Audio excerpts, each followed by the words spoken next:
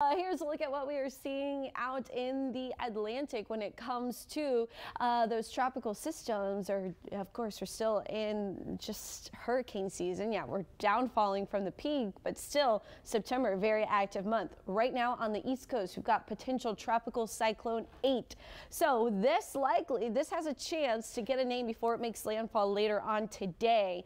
50 mile per hour winds currently sustained it's just not organized. So if it gets a more organized center. It is approaching landfall though now as we speak, so it may not get that name, which I believe is uh, Helene the next, but overall 65 mile per hour wind gusts, tropical storm force winds impacting the coast, tropical storm warning in place as well. Now this is all on the east coast. This is the Carolinas, North Carolina, South Carolina, anticipating a whole lot of rain from this potential tropical cyclone. For the rest of us, not so much rain. We get a little bit of a disturbance. There's a stationary boundary set it up through Louisiana and the Mississippi River Valley. We've got a low pressure system tracking across portions of the west, but Texas is going to be under the influence of high pressure. And we'll talk about what that means for our forecast coming up. So there's Helene. So uh, it's Helene is the next name on the list. If Tropical Cyclone 8 can get organized before it makes landfall, it will get a name. But right now we also are keeping an eye on Tropical Depression Gordon, but that's moving north in the Atlantic. So overall, no threats to Texas.